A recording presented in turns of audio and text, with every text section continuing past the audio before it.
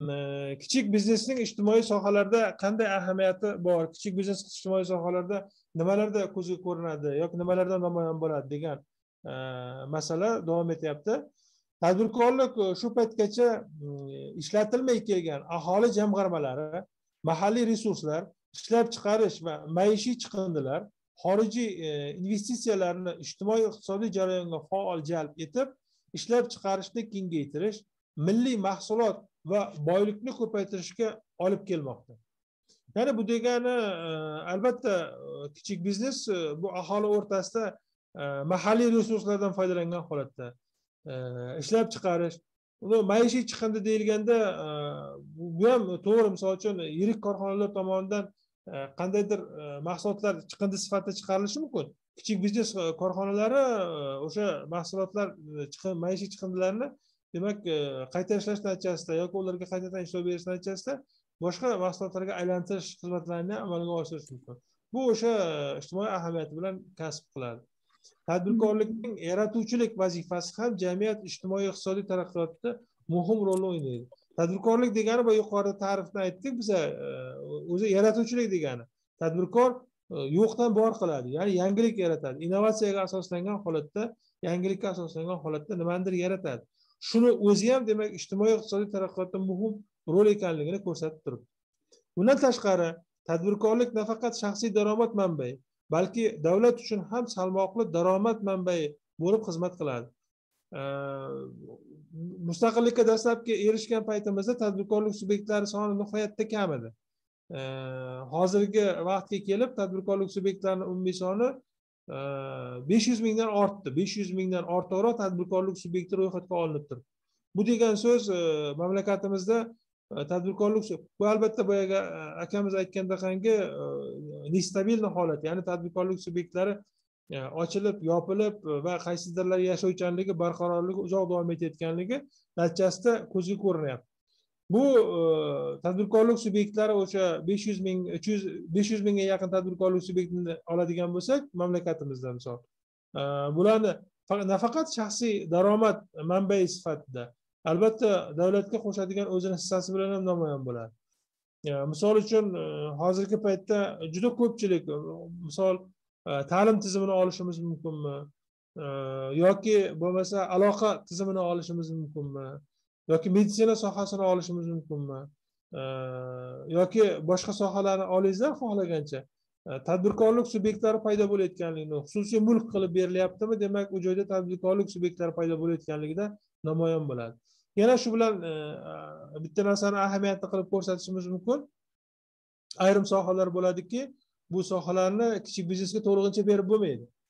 Shunday bir soha davlat ahamiyatiga ega bo'lgan sohalar bor.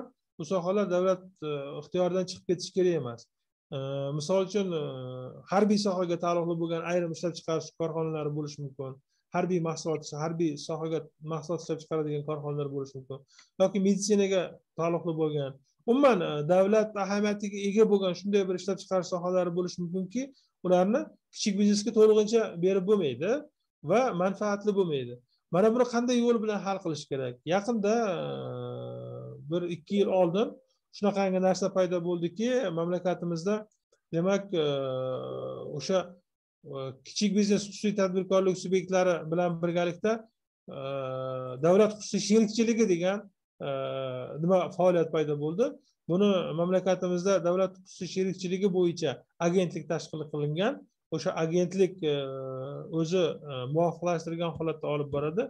O'sha agentlikni faoliyati asosan davlat xususiy sherikchiligi asosida kichik biznes xususiy tadbirkorliklar bilan birgalikda faoliyatni olib borishni o'zini oldiga maqsad qilgan. Bu degani o'sha boyagi davlat ahamiyatiga ega bo'lgan ayrim faoliyat turlarini ayrim ishlab chiqarish sohalarini davlat va e, tadbirkor o'rtasida e, imzolangan shartlashilgan shartlar asosida e, biron mahsulot ishlab chiqaradi yoki xizmatlarni ko'rsatadi.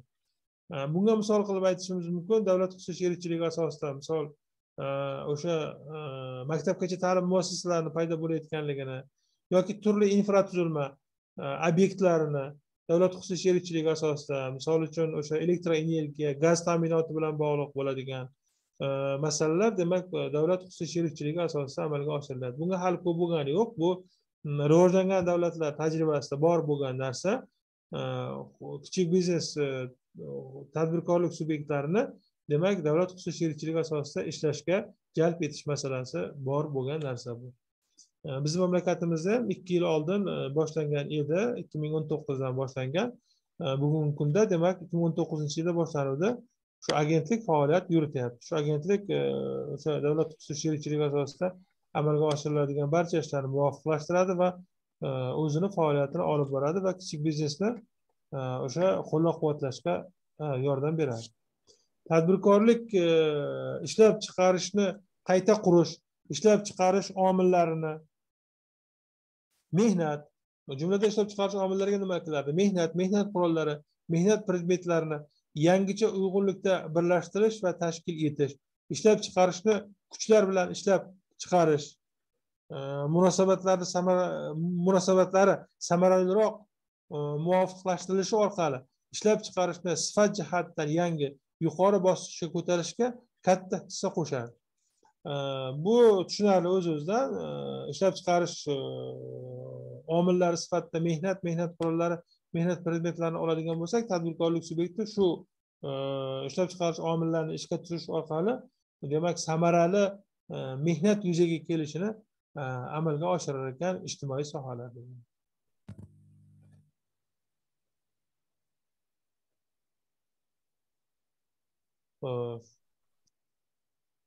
Man demak demonstratsiyani prezentatsiyani tamom qildim prezentatsiya tamom bo'ldi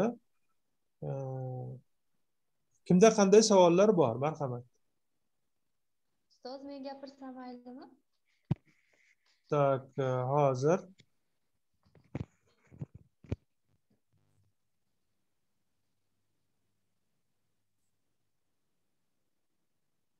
tak marhamat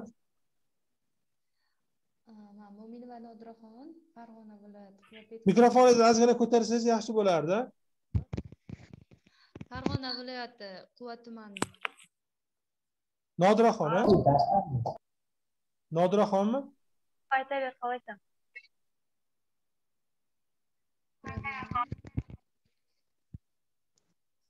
mo'minova nodiraxon to'g'rimi ha mo'minova nodiraxon marhamat savolingiz bo'lsa bering savolim yo'qu haligi e, siz hozir davlat sherikchiligi asosidagi kichik biznesni gapirib o'tdingiz.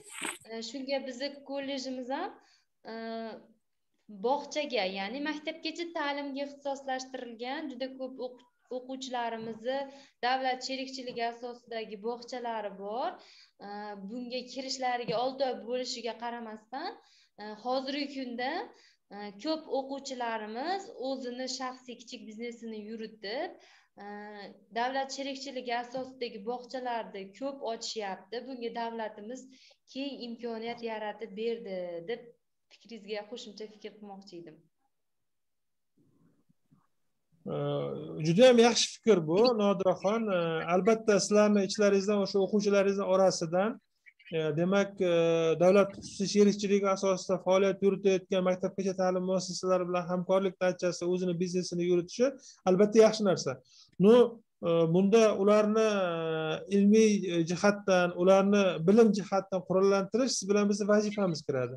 Shuning uchun ularga ham o'sha davlat xususiy sherikchiligi asosida ish yuritish qoidalarini ularni iqtisodiy jihatdan foydali tomonlari to'g'risida siz e, demak o'zingizni e, bilimlaringizni tajribalaringizni bersalaringiz yanada yaxshi bo'ladi. Chunki bola hali e, talaba bo'lganligi sababli ayrim joylarda xatoliklarga yo'l qo'yilishi mumkin. Buning uchun bilasiz o'sha me'yoriy hujjatlarni o'sha davlat xususiy sherikchiligi bo'ladimi yoki kichik biznesni yuritish faoliyati bo'yicha bo'ladimi? Lex uz degan o'sha adliya vazirligini sayti bor. O'sha joydan bemalol ma'lumotlarni olib o'sha joyda faoliyat yuritish qoidalari huquqiy asoslarini e, olishlaringiz mumkin. Demak yozib qo'yishingiz mumkin. Lex lex uz degan sayt bor. Lex uzga kirasizda o'sha joyga poisk berib e, davlat xususiy sherikchiligi oddiygina berishingiz mumkin. Yoki kichik biznes xususiy tadbirkorlikda davlat xususiy sherikchiligini bersangiz o'sha joyda barcha davlatimiz tomonidan e, ishlab chiqarilayotgan yo'lga qo'yilgan bugungi kunda yaratilgan me'yoriy huquqiy asoslarni olib o'sha talabalaringizga berish orqali ularni qurollantirishingiz mumkin. Qaysiki ularni o'sha kichik biznes sohasidagi bilim saviyalarini oshirish maqsadida. Nodiroxon yaxshi fikr qo'shilganingiz uchun fikrimga man sizdan minnatdorman. Rahmat sizga. Rahmat ustoz sizga. Rahmat sizga nodiroxon rahmat. Yana kim bor? Savol bersam maylimi endi? Marhamat. Endi mustaqillikka erishgandan keyin bozor iqtisodiyotiga o'tdikda biza bozor iqtisodiyotini tanladik yo'lini tanladik bu yerda mulklar davlat mulki xususiylashtirishga katta e'tibor berildi dedingiz boya.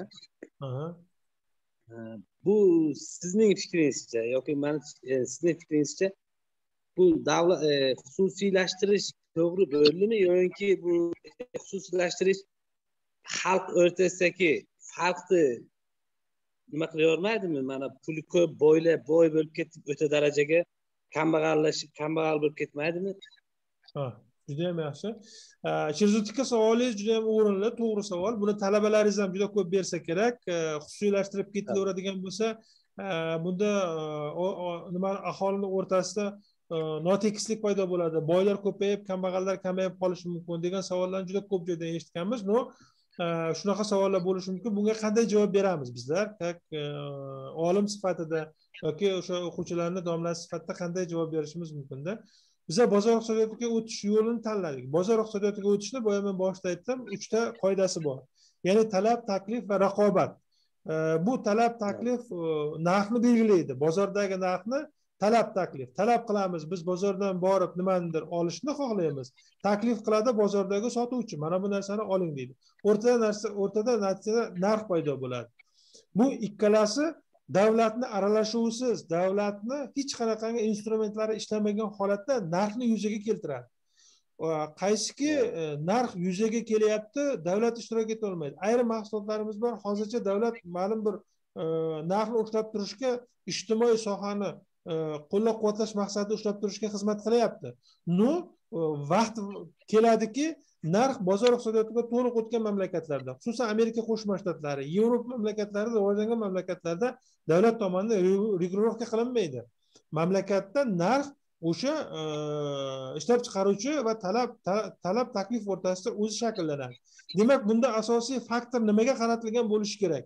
O'sha tadbirkorni miyasida yoki tadbirkorni xohishida paydo bo'lishi kerakki mulkka egalik huquqi ya'ni o'sha e, talab qilinadigan bo'lsa taklifni bermoqchimi? Mulk maniki mulkni xohlagan narxga sota olaman. O'sha mulkim yoki ishlab chiqargan mahsulotim e, ko'rsatgan xizmatim maniki degan hissiyot hosil bo'lgan holatda e, narxni yuzaga keltirtiradi.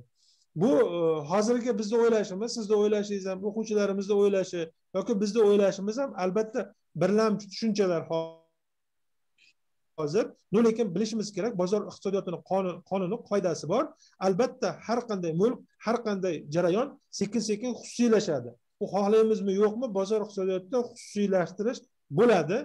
Davlat o'zini sekin sekin ma'lum bir e, nimalarni richaklarini xususiy jarayonga bera boshlaydi.